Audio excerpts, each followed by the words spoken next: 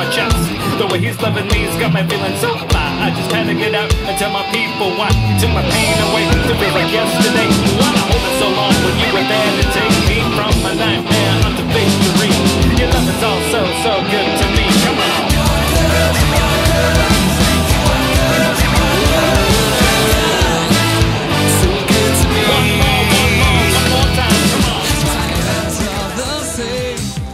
How that in Bethlehem was born the Son of God by name.